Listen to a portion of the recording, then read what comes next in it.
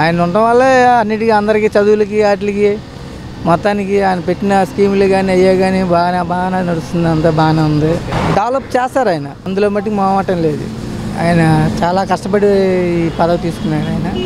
బాగానే ఉంది. కూల్చివేస్తున్నారంటే అవి మరి దాన్ని బట్టి వాళ్ళు పెద్దవాళ్ళు తీసుకునే నిర్ణయాలు మనకేం తెలుస్తాయో చూసి దాన్ని బట్టి ఆలోచించి మాట్లాడారు. పెన్షన్లు అంటే ఇంత ముందు ఇచ్చినట్టే ఇస్తారు కాకపోతే ఇవన్నీ మరి ఫాలోఅప్ చేసుకోవాలిగా వాళ్ళు. దాన్ని బట్టి. బ్రహ్మాండంగా ఉంది బాగానే ఉంది. ఆయన తండ్రి గారి కంటే ఎక్కువే చేస్తాడని అవగాహన ఆలోచన. జగన్ గారి పాలన అంటే ఇంకా నెల రోజులే కదా అవుతుంది. వన్ మంత్ అయినా పర్లేదు బ్రహ్మాండంగానే ఉందనిపిస్తుంది. జగన్ గారు ముప్పై రోజుల పరిపాలన ప్రస్తుతం బాగానే ఉందండి. ఆయన తీసుకున్న నిర్ణయాలన్నీ కూడా ప్రజలు హర్షించదగ్గవే. ఇక ముందు కూడా ఆయన మంచి మంచి నిర్ణయాలు తీసుకొని ప్రభుత్వాన్ని ప్రజలకి ఆమోదయోగ్యంగా ప్రజలు మెచ్చే విధంగా నడిపిస్తారని చెప్పి అందరూ ఆశిస్తున్నారు. అయితే ఆయన పరిపాలనలో ఆయన తీసుకున్న నిర్ణయాలు కార్యరూపం దాల్చి రిజల్ట్ రావడానికి కొంత టైం పడుతుంది. మినిమం ఒక సంవత్సరం రెండు సంవత్సరాలు వేచి చూడవలసి ఉన్నది పూర్తి రిజల్ట్ అనేది మనకి కొంత తెలియడానికి అదేవిధంగా గత ప్రభుత్వంలో జరిగినటువంటి ఏమైనా లోపాలు ఉంటే ఆ లోపాలు కూడా ఈయన మంచి సహృదయంతో వాటిని వాటిలో ఉన్నటువంటి లోపాలని ఎత్తి చూపటంలో తప్పు తప్పు లేదు. కానీ ప్రజలకు ఎటువంటి శాంతి భద్రతల విషయంలో ఎటువంటి ఇబ్బంది లేకుండా చూడవలసిన విషయం అనేది మెయిన్ విషయం అనేది మరి వైఎస్ జగన్ గారి మీద ఆధారపడి ఉంది. అతను పరిపాలన అయితే ఈ నెల రోజుల పరిపాలన అయితే కనుక చాలా బాగానే ఉంది. బాగుంది. ఒకటో తారీఖున ఇవ్వవలసిన పెన్షన్లు ఎనిమిదో తారీఖున ఇవ్వటం అనేది అది దాని గురించి పెద్దగా మనం మాట్లాడుకోవడానికి ఏం లేదండి. ఎందుకంటే గవర్నమెంటు ప్రస్తుతం ఏ పరిస్థితుల్లో ఉన్నదనేది ప్రజలందరికీ తెలిసిందే. లోటు బడ్జెట్లో నడుస్తుంది కాబట్టి ఒక వారం పది రోజులు అటు ఇటు రావచ్చు కావచ్చు.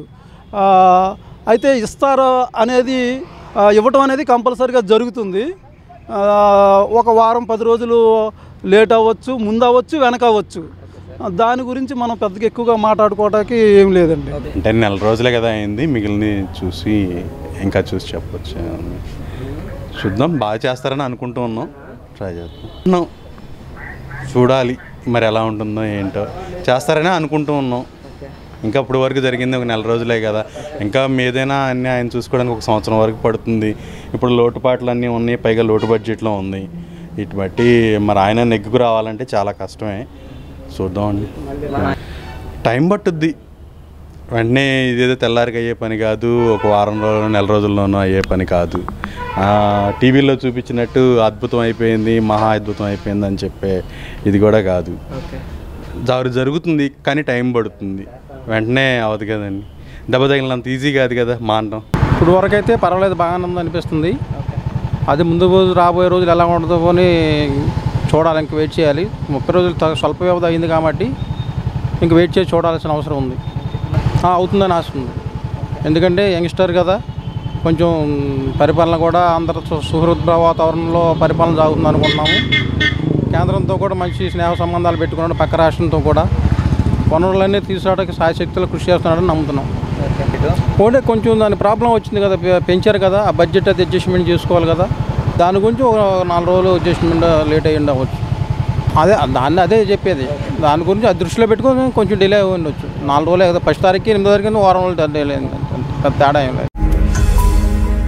ఈ వీడియో గనక మీకు నచ్చినట్లయితే లైక్ చేయండి షేర్ చేయండి. మరిన్ని వీడియోస్ కోసం మా ఛానల్ను సబ్స్క్రైబ్ చేయండి.